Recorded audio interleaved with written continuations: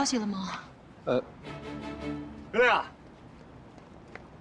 我们俩去了一趟那个辖区的派出所。啊哈，那警察说啊，他帮着给各个路口的那个监控再帮着搜一遍，然后我把新通电话留给他们了。他们说呢，可能还得需要一段时间。如果有消息的话，给你打电话。派出所说了，现在这种情况特别多，好心人也多，一定能找着啊。电视台、电台、报纸还有网络的寻人平台，我已经把阿姨的照片和相貌特征都发出去了，希望有好心人看了能给咱们提供线索。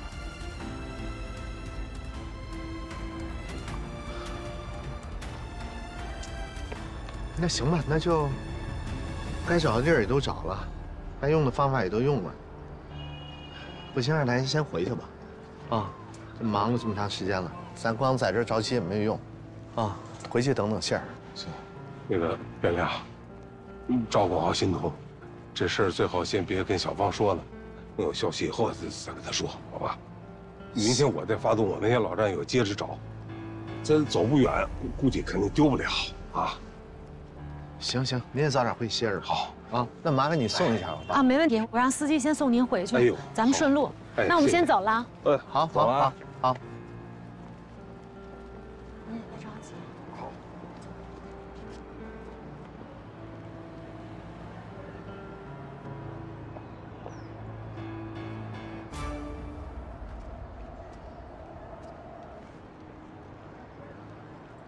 先回去。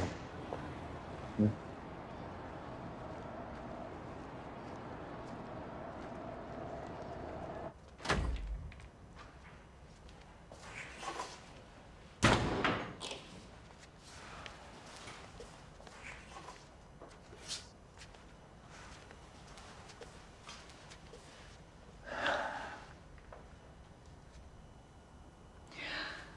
他会去哪儿呢？都这么晚了。其实小芳去复读了，我完全有时间陪我妈，我就应该把她接到老房子。也许她到老房子，她就不会乱跑了，是吧？我非要去体现什么自我价值，去卖什么狗屁保险，我疯！我他妈真是疯了！我，你就别自责了。我跟你说，这个，这马人是有病，不是你的责任。那就是你的责任。是你没有给我安全感，所以我妈才不放心了。你看她这两天折腾的，一会儿又要去过户房子，一会儿又到处乱跑，现在又不知道他去折腾什么了，跑哪儿去呢？他就喜欢折腾。行了，别自责了。我说，就现在外边这个监控系统这么发达，肯定能找回来。啊。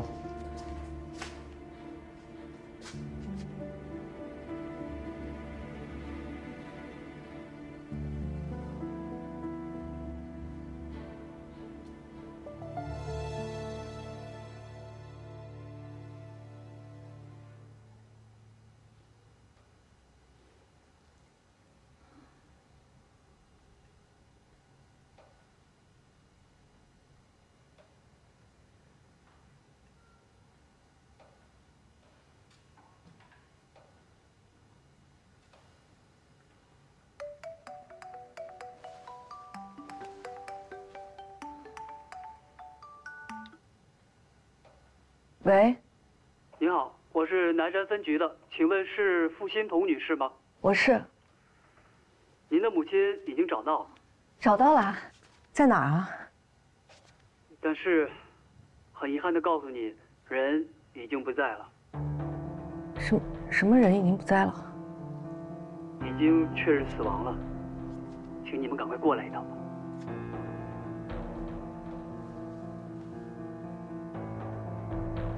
啊啊啊！怎么了，心头？怎怎么了？啊啊！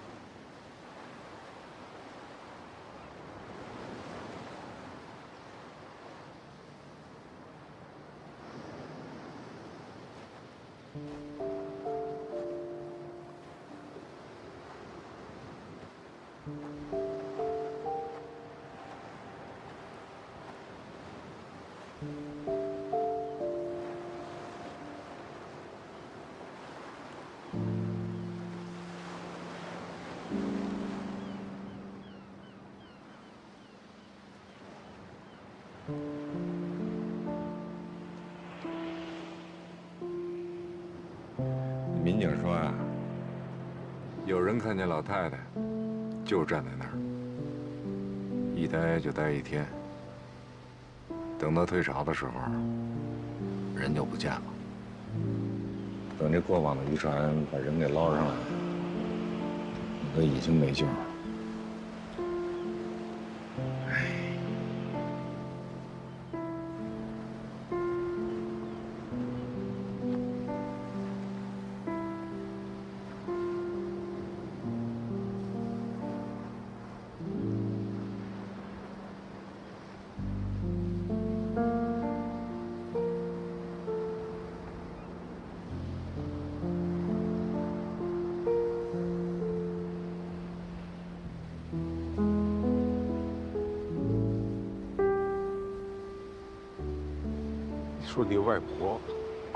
跑到海边来？我外婆可能之前我外公了吧？他说，我外公就是坐船走的。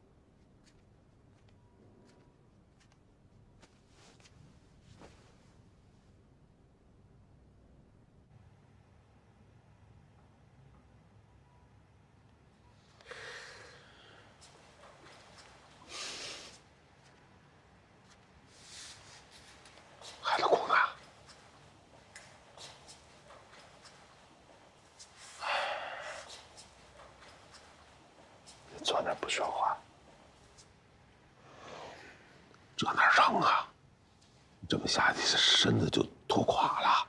你多少得吃点东西啊。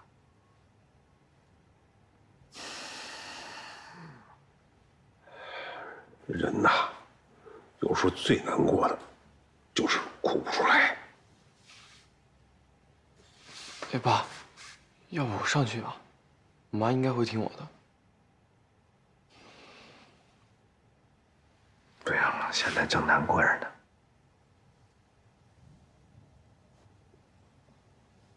要不这样，今天家里边就不做饭了，你领小芳出去吃点吧，我在家陪陪欣桐，一会儿我劝劝她。放，走吧。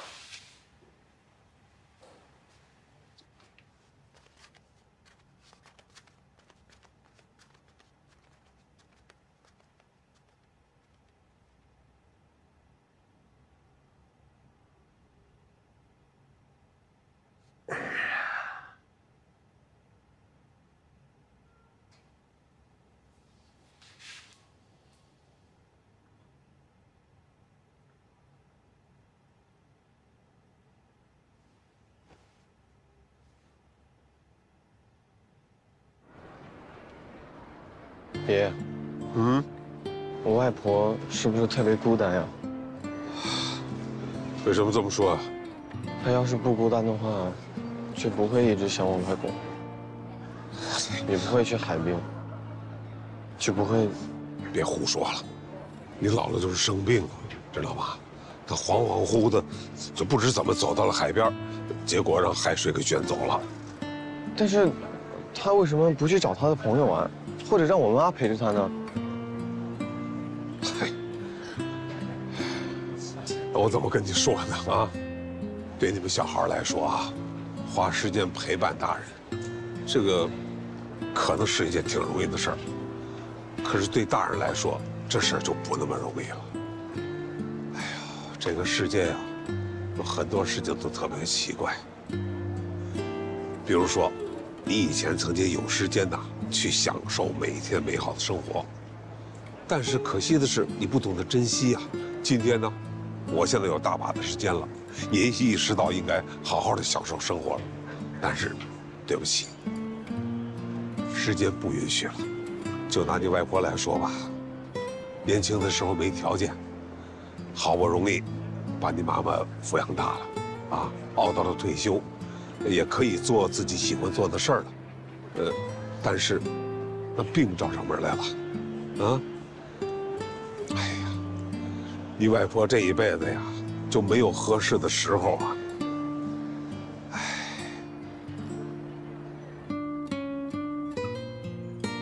爷，我去买个蛋糕。哎哎哎，等会儿，不，他刚才不是吃了一大碗面条吗？又饿了？不是，我不是给自己买的，我就听说难过的人吃了甜品，心情会好受一点。我妈最近心情这么低落，我就想着给她买点甜品吃。好小子，长大了，知道心疼你妈了啊！走，买去。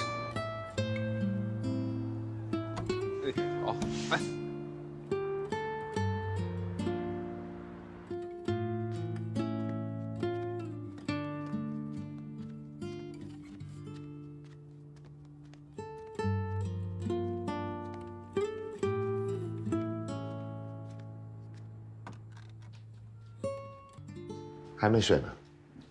哦，我把这一页看完就睡。啊，哎爸，我妈好点了吗？我给她买的点心她吃了没？嗯，吃了，吃了一大块。她还让我谢谢你呢。要不我跟学校请个假，这两天我在家里陪我妈。呃，不用，有爸爸陪着就行。你呢，就踏踏实实好好的学习。你能少让他操点心也是好事。行，听你们的。行，早点睡吧。明天我给你叫个车送你去学校。啊。哎，爸，你说我外婆去的另外一个世界，有我外公吗？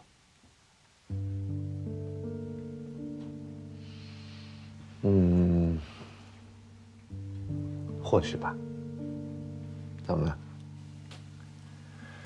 我知道，再也见不到他了。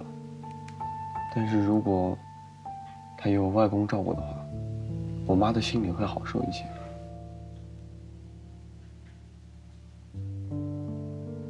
小凤，生老病死是一个很正常的事儿。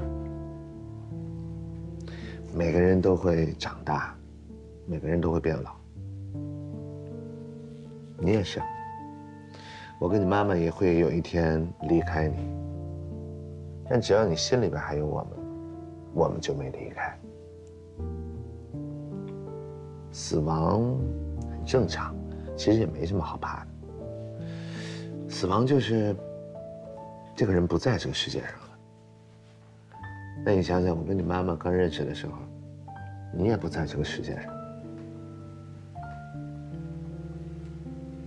所以说，这个每天都会有人死亡，就像每天医院里边会有小宝宝诞生一样。我懂。之前看过一个动画片，叫《寻梦环游记》，嗯，讲的就是这个道理。嗯，死亡不是永别，遗忘才是。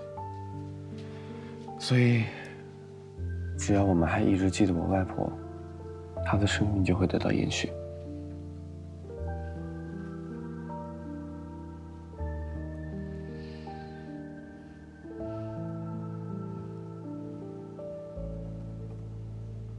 早点睡吧，别看了。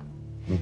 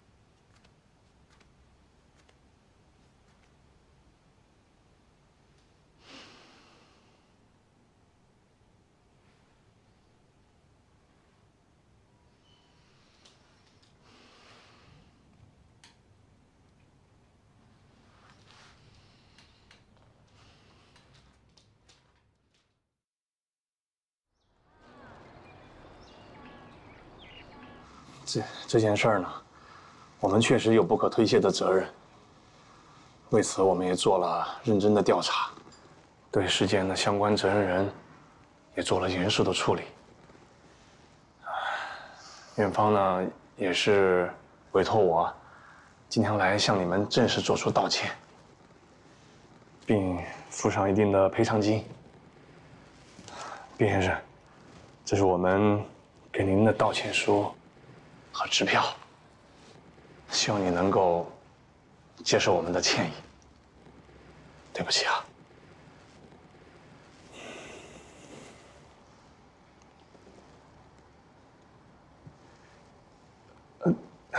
您如果还有什么要求，都可以提出来，咱们可以再协商嘛。说实话，这样的结果让人很难接受。是是是。当然，谁也不想看到这样的结果。你们的心意跟歉意，我会转达我夫人。但说实话，事已至此，无论做出任何的，无济于事。真的希望你们总结这次的经验跟教训，千万千万不要再出现在别的老人身上。啊，是是是是是是，谢谢您的理解，我们一定吸取教训啊，改正我们的不足。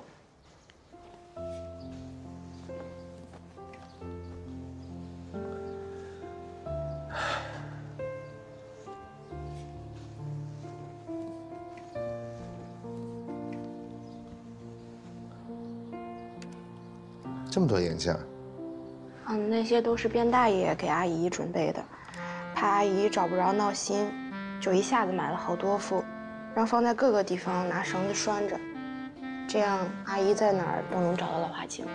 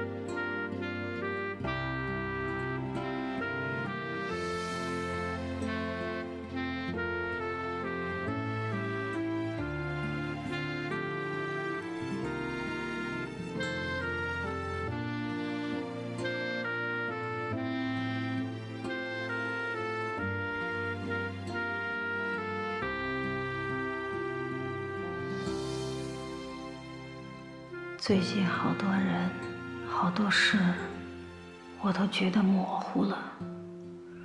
只有你小时候的样子，我记得最清楚。做梦也总是梦到你小时候的样子。因为从那以后，你父亲就离开了我们，从此就我们母女在一起生活了。对你来说，我是一个强势的妈妈，一直对你很严厉。其实，我这心里头特别难受。每当我回头一看见你，你乖巧懂事的模样，看得我心疼啊。如果……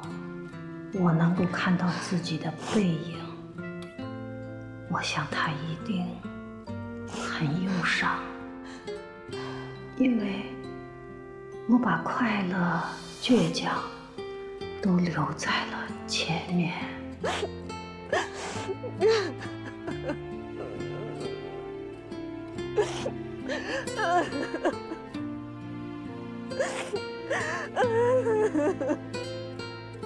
妈妈，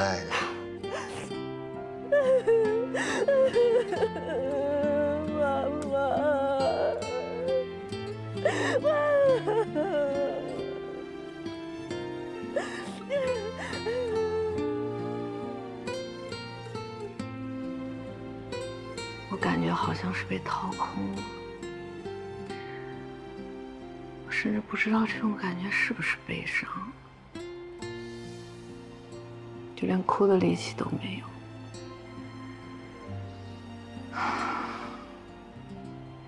你妈妈去世的时候，你哭了吗？没有。为什么？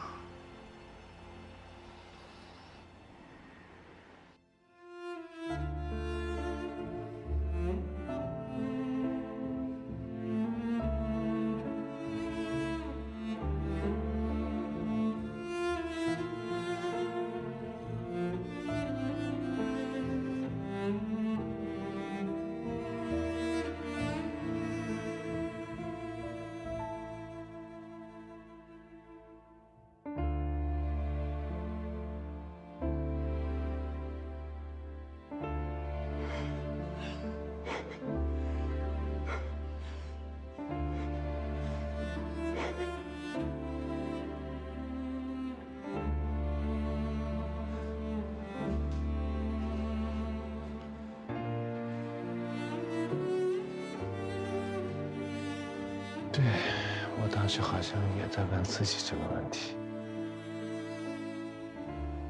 为什么连我妈妈去世了我都没哭出来？尤其在葬礼的时候，我觉得所有人都在看着我。我当时不懂，这就是成年人和孩子不一样的悲伤吧。直到有一天，我在马路上碰到一个阿姨，她说是我妈同事，上来就直愣愣的问我，说你妈是不是得癌症死了？我眼睛一下子就模糊起来了，回答不了这样的问题。我就绕过他走了，就听见他在后边一直在说我不懂事儿、没礼貌，他是在关心我，但好像就从那一刻，我才清楚的意识到，我妈是真离开我了，再也回不来了。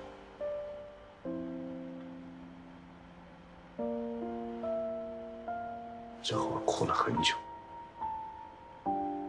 到现在都不能接受，我妈妈已经离开我了。我总觉得哪天我一开门，她就站在门口。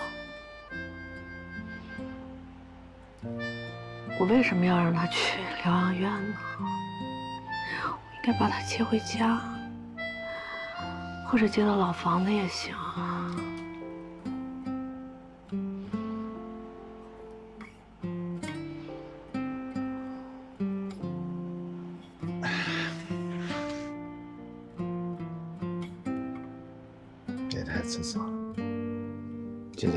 接受肯定需要一个过程，会过去的。我们都知道这一天早晚会来的，其实我们也都给了自己的心理暗示。我接受不了，我太不了解我妈了。我一直觉得她很恨我爸爸，恨我爸爸抛弃我们，远走他乡。我从来都不敢在我妈面前提我爸，甚至后来海外来信告诉我我爸去世的消息。我都没有跟我妈说，可是这段时间他生病，我才发现，我妈其实很爱我爸爸。在他记忆里留下的都是我爸跟他在一起最美好的时光所以他才会去海边等我爸爸。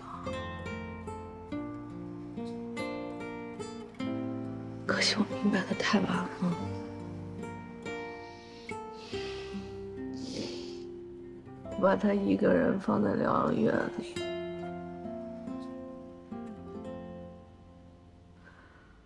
我特别自责都是我的错，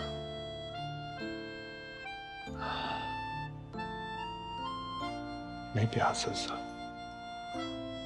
我们都想着给他最好的医疗，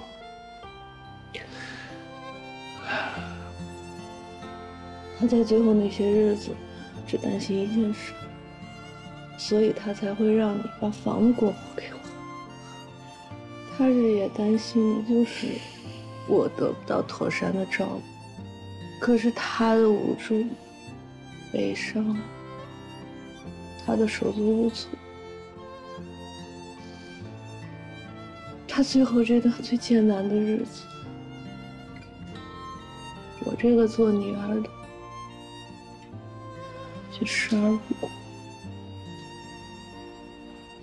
我是个什么女儿？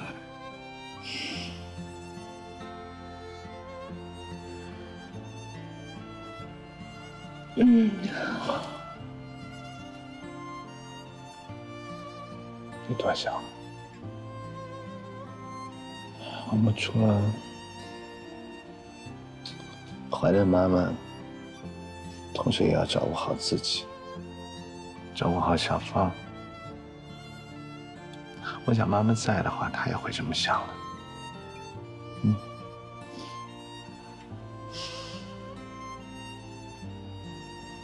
你想我吗？太想他了，我想我妈。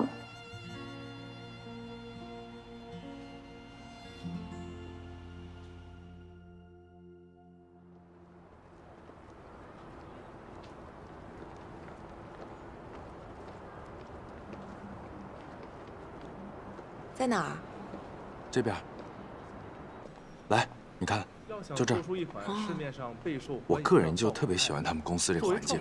你看，哎，阿伟，哎，少白来了，忙着呢。哦，跟他们说说这个经典调研的事儿。好，好，好，你先忙，你先忙，我带一朋友过来看看。哦，你好，你好，你好，你好。好，那咱们接着。你看，他们整个公司啊，这工作环境特别舒适，生活区和工作区都是分开来的。这边呢就是工作区，这边是生活区。齐总，哎，来了，我下来啊。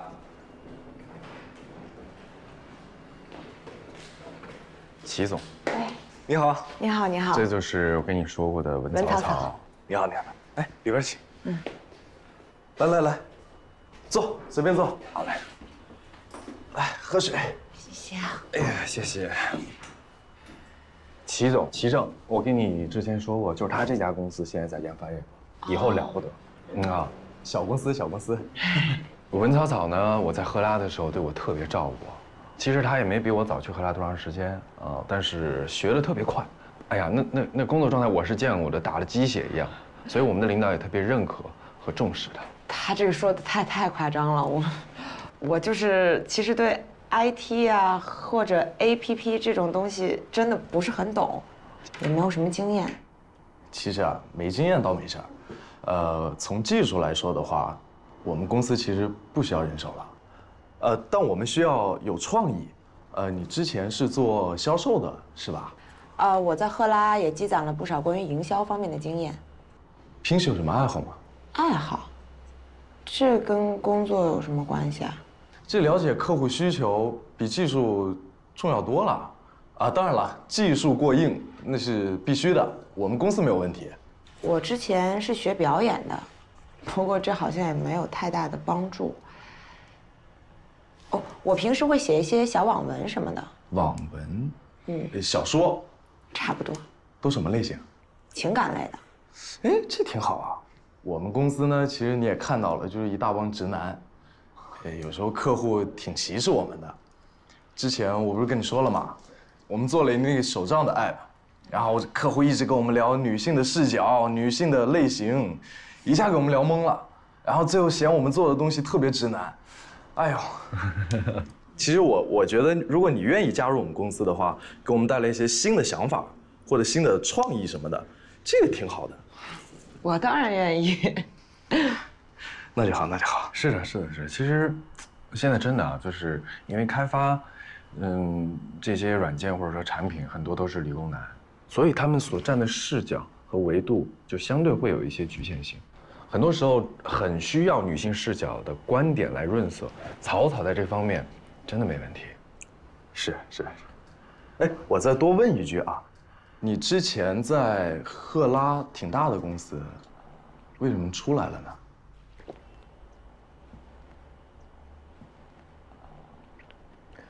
哎，草草就是属于有点过于优秀，所以遭人嫉妒啊。那时候就有人排挤他，他这个性格又比较直，干得不开心，所以就离开了，就这么回事。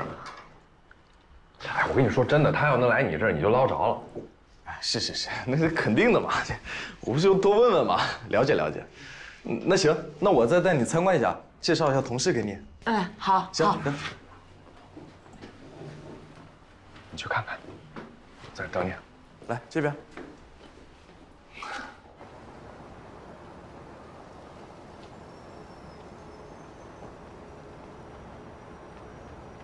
领导最近怎么样？自己的事儿还没落听呢，还关心别人啊？我就随口一问，毕竟人家有恩于我嘛。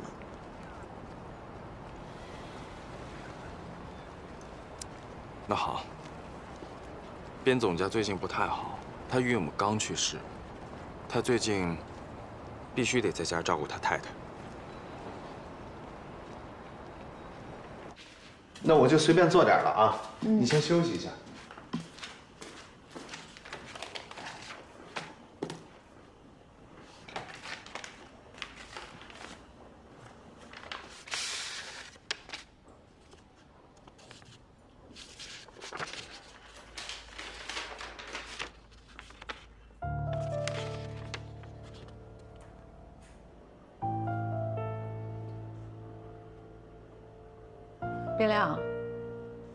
你出来！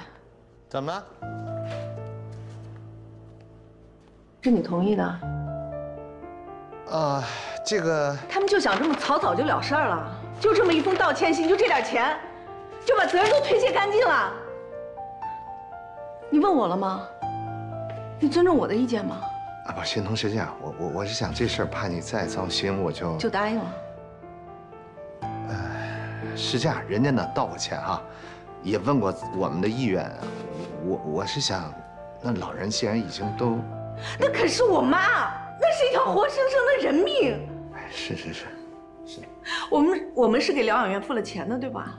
他们有责任有义务看管好我妈。我妈从从他们医院走出去了，人人就没回来，他们就想这么就想结束了，太草率了吧？你你还能答应？你真够仁慈的。不是，不行，我得找他们去。行总，行总，行总，你别别着急啊。我说咱们先好好商量商量，商量完了以后你跟我商量了吗？你尊重我的意见了吗？是是是。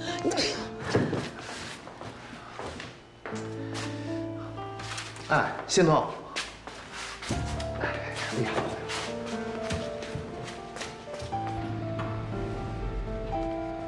哎，欣桐。欣桐，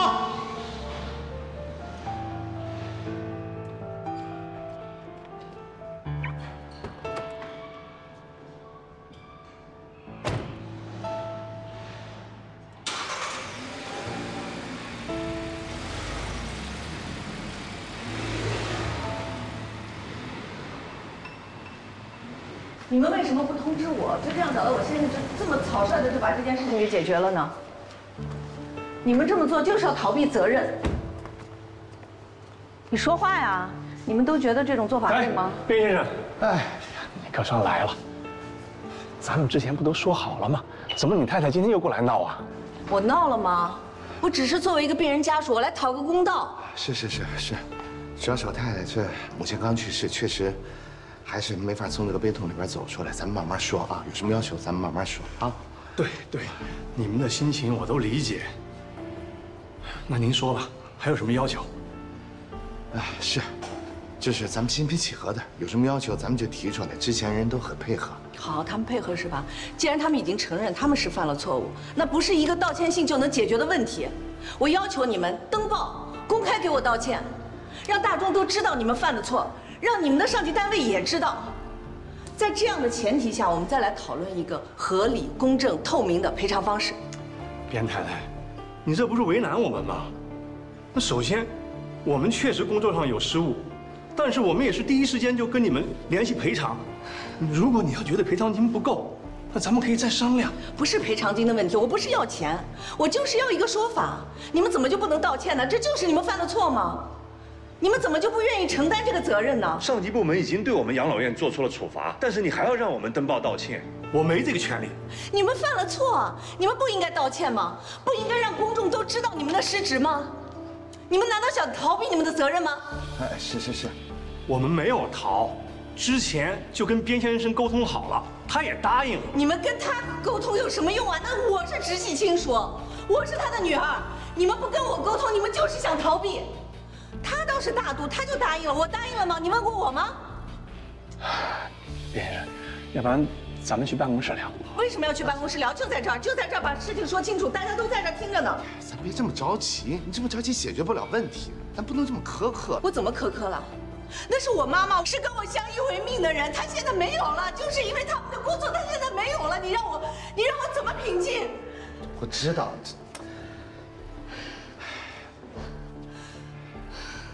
是这些，哎，这是他们的责任，但也不全是他们的责任。我们做子女的也有责任，是吧？哦，你你你的意思是我的错是吧？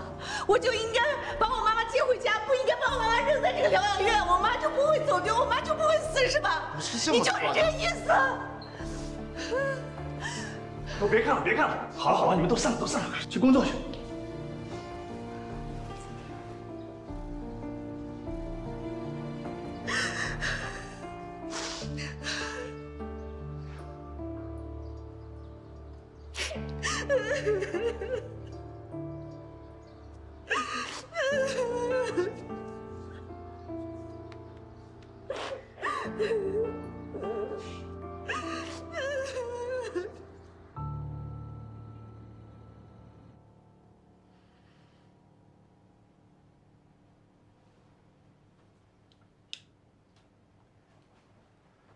老公，我想出去走走。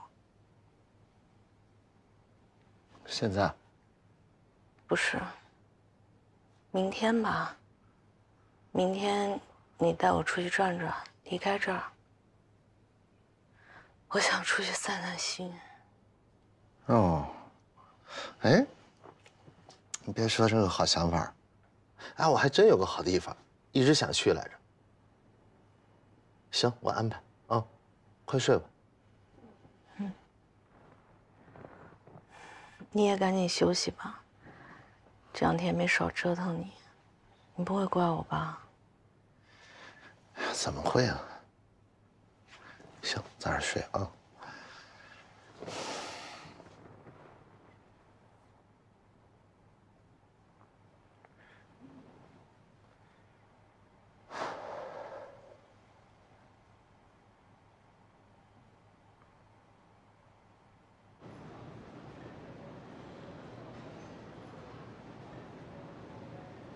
反正就是一直这样，什么也不说，什么事儿也不想干。哎，这么下去可不是个事儿。我觉得就是在他母亲走的太突然，没走出来，老是自责。哎，这么下去可不是个办法。不知道该怎么办。我的建议是找专业人士帮忙。你是说心理咨询？还没到这个地步吧？他就是就是太难过了吧？我觉得。心理咨询其实就是让专业的人帮他去疏导一下情绪，主要是我们只能从家人跟朋友的角度去疏导他，而且我们自己也有情绪，我们没有办法做到完全的客观。心理咨询师他们会在最短的时间内，用最专业的方法，最有效率的帮他疏导好这个情绪。行吧。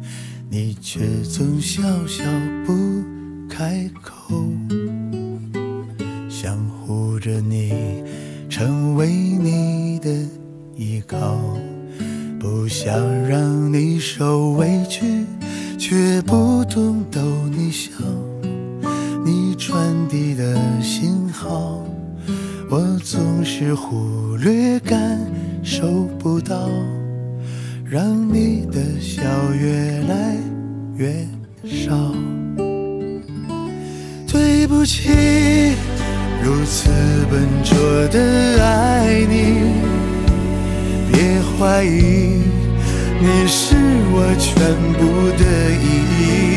有一天老去，生活点滴全部都忘记，爱你是我最后的记忆。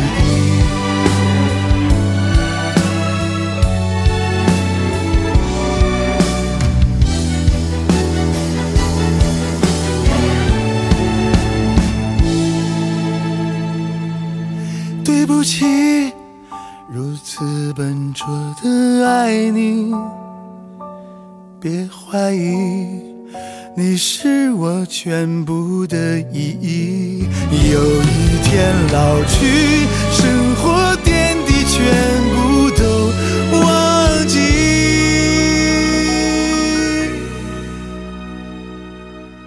爱你是我最后的。